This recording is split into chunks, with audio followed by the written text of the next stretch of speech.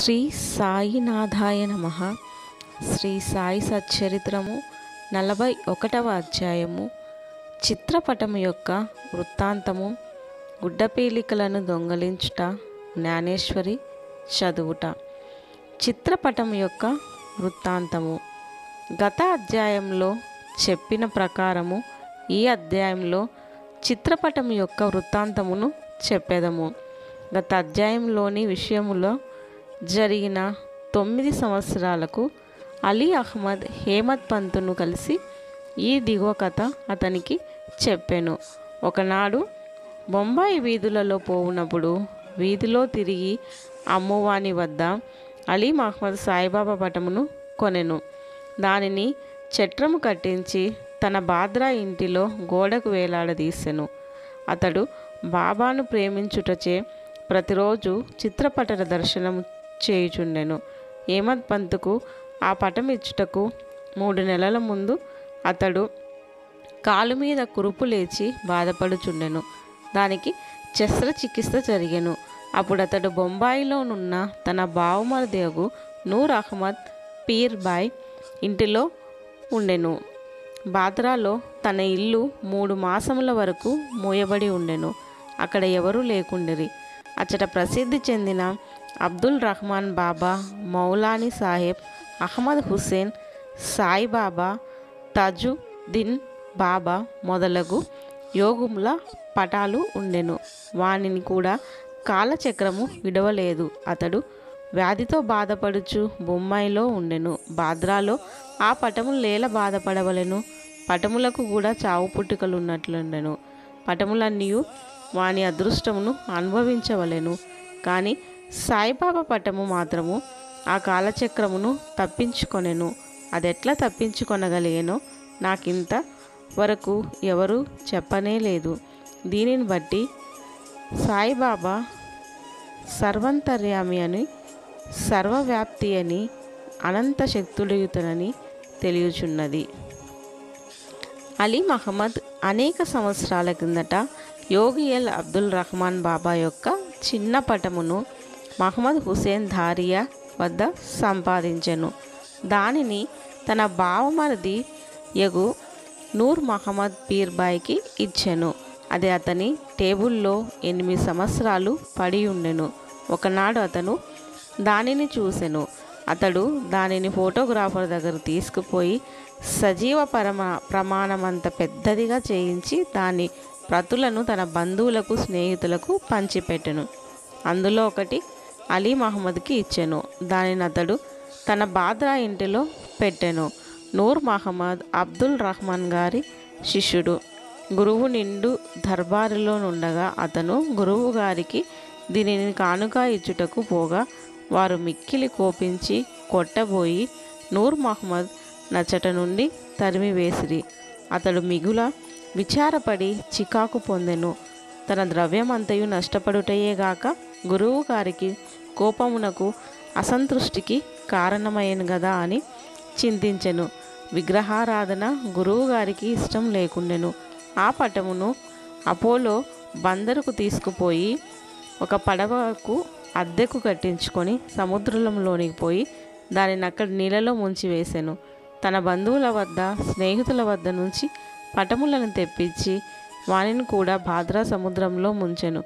ఆ సమయమున అలీ మహమ్మద్ తన భావమరిది ఇంటిలో ఉండెను. యోగుల పటములను సముద్రంలో పడవేసినచో తన వ్యాధి కుదురునని బావమరిది చెప్పెను. అది విని అలీ మహమ్మద్ తన మేనేజర్ను బాద్రా ఇంటికి పంపి అక్కడున్న పటములన్నింటినీ సముద్రంలో వేయించెను. రెండు నెలల పిమ్మట అలీ మహమ్మద్ తన ఇంటికి తిరిగి రాగా బాబా పటము ఎప్పటి వలె గోడ మీద నుండుట గమనించి ఆశ్చర్యపోయాను. తన మేనేజర్ పటములన్నీ తీసివేసి బాబా పటమును ఎట్లు మరచెనో అతనికే తెలియకుండెను. వెంటనే దానిని తీసి వీరవాలో దాచెను. లేకున్నా తన బావగారు దానిని చూసినచో దానిని కూడా నాశనం చేయమని భయపడెను.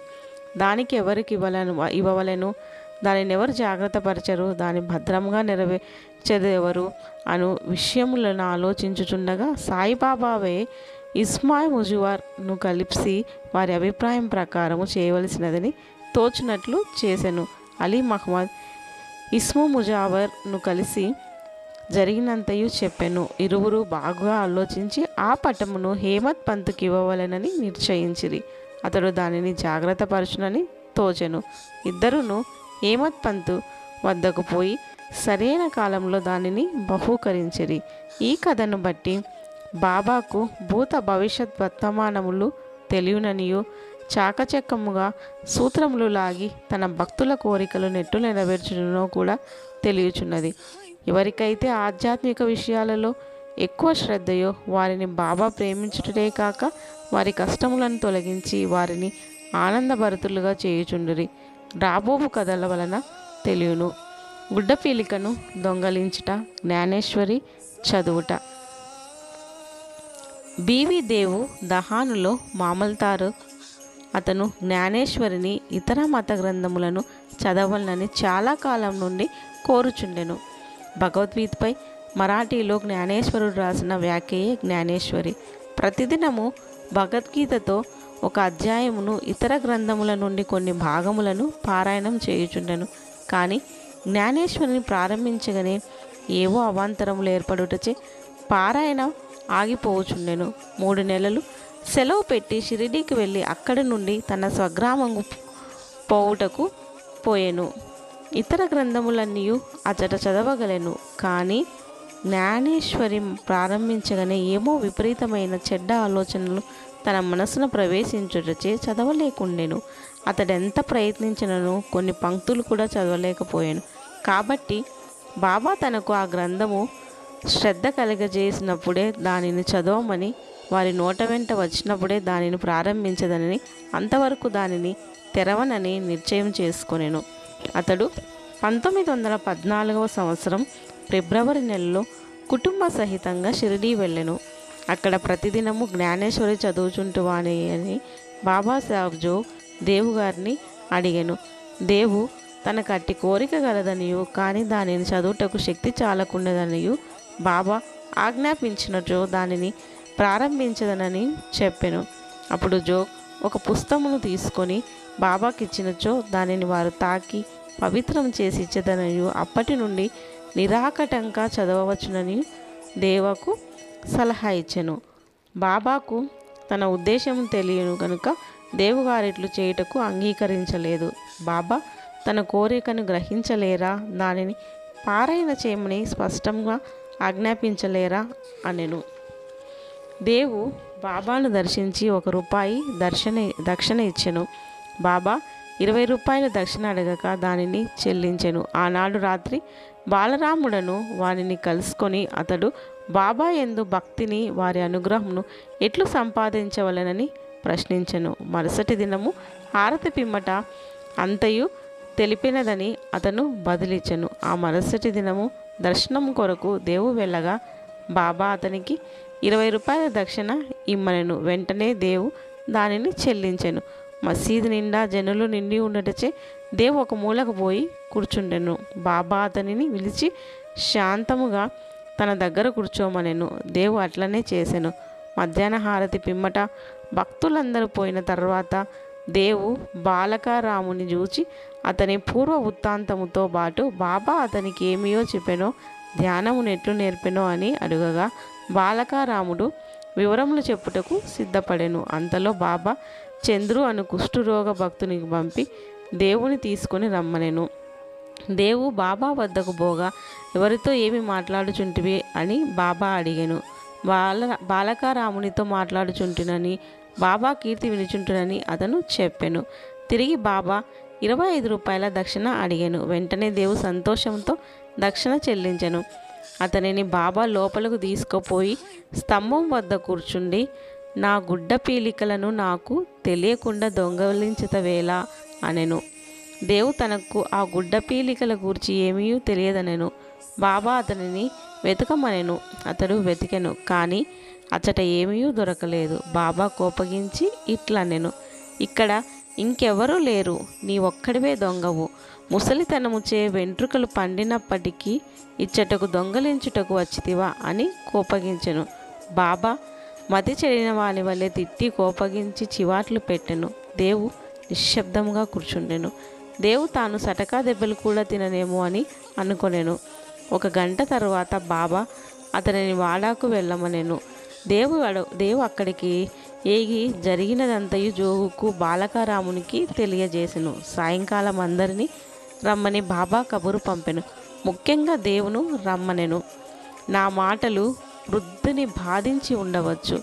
అతడు దొంగలించుటయే నేనెట్లు పలకవలసి వచ్చే అని బాబా అనెను. తిరిగి బాబా పన్నెండు రూపాయల దక్షిణ అడిగెను. దేవు దానిని వసూలు చేసి చెల్లించి సాష్టాంగ నమస్కారం చేసెను బాబా ఇలా అనెను. ప్రతిరోజు జ్ఞానేశ్వరిని చదువుము. పోయి వాడాలో కూర్చొనము. ప్రతి నిత్యము కొంచెమైనను క్రమం తప్పక చదువుము. చదువునప్పుడు దగ్గరనున్న వారికి శ్రద్ధాభక్తులతో బోధపరిచి చెప్పుము. నేను నీకు జల్తారు సెల్ల నిచ్చుటకు ఇచ్చట కూర్చొని ఉన్నాను. ఇతరుల వద్దకు పోయి దొంగలించదవేళ నీకు దొంగతనమునకు అలవాటు పడవలనని ఉన్నదా? అనెను. బాబా మాటలు విని దేవు సంతోషించెను. బాబా తనను జ్ఞానేశ్వరిని ప్రారంభించమని ఆజ్ఞాపించిన నేను తనకు కావలసినదేదో అది దొరికినని అప్పటి నుండి తాను సులభంగా చదవగలననియో అనుకొనెను. తిరిగి బాబా పాదములకు సాష్టాంగ నమస్కారం ఉనర్చను తాను శరణు వేడెను కనుక తనను బిడ్డగా నుంచి జ్ఞానేశ్వరి చదువుటలో తోల్పడవలసినదని బాబాను వేడుకొనెను. పీలికలు దొంగలించుట అనగానేమో? దేవు అప్పుడు గ్రహించెను. బాలకారాముని ప్రశ్నించుటయే గుడ్డ పీలికలు దొంగలించుట. బాబా కట్టి వైఖరి ఇష్టం లేదు. ఏ ప్రశ్నకైనా సమాధానములిచ్చుటకు తామే సిద్ధంగా ఉండిరి. ఇతరులను అడుగుట బాబాకు ఇష్టం లేదు. అంజుతే అతని బాధించి చిరాకు పెట్టెను. అదియూ కాక ఇతరులను అడ అడగకుండా బాబానే సర్వం అడిగి తెలుసుకొన వలయను ఇతరులను ప్రశ్నించుట నిష్ప్రయోజనమని చెప్పాను. దేవు ఆ తిట్లను ఆశీర్వాదంగా భావించి సంతోషంతో ఇంటికి పోయాను. ఆ సంగతి అంతతో సమాప్తి కాలేదు. బాబా చదవమని ఆజ్ఞాపించి ఊరుకొనలేదు. ఒక సంవత్సరం లోపు బాబా దేవు వద్దకు వెళ్ళి వాని అభివృద్ధి కనుగొనెను. పంతొమ్మిది వందల పద్నాలుగో సంవత్సరం ఏప్రిల్ నెల రెండవ తేదీ గురువారం ఉదయం బాబా స్వప్నంలో శాస్త్రాత్కరించి పై అంతస్తులో కూర్చుండి జ్ఞానేశ్వరి బోధపడుతున్నదా లేదా అని అడిగాను. లేదు అని జవాబిచ్చెను. బాబా ఇంకా ఎప్పుడు తెలుసుకునేదవు దేవు కన్నులు తడిపెట్టుకొని నీ కృపను వర్షింపనిదే పారాయణము చికాకుగానున్నది. బోధపట్టుట చాలా కష్టంగానున్నది. నేను దీనిని నిశ్చయముగా చెబుచున్నాను అనెను. బాబా చదువునప్పుడు నీవు తొందరపడుచున్నావు. నా ముందర చదువుము. నా సమక్షంలో చదువుము అనెను. దేవు ఏమి చదవలేను అనెను? బాబా ఆధ్యాత్మిక చదువుము అన్న. పుస్తకమును తీసుకొని వచ్చుటకు దేవు వెళ్ళెను. అంతలో మెలకు వచ్చి కనులు తెరిచెను. ఈ దృశ్యము చూసిన పిమ్మట దేవుకెంత ఆనందము సంతోషము కలిగను. చదువరులే గ్రహించగలరు కాక నలభై ఒకటవ అధ్యాయం సంపూర్ణము. సద్గురు శ్రీ సాయినాథార్పణ వస్తు శుభం భవతు.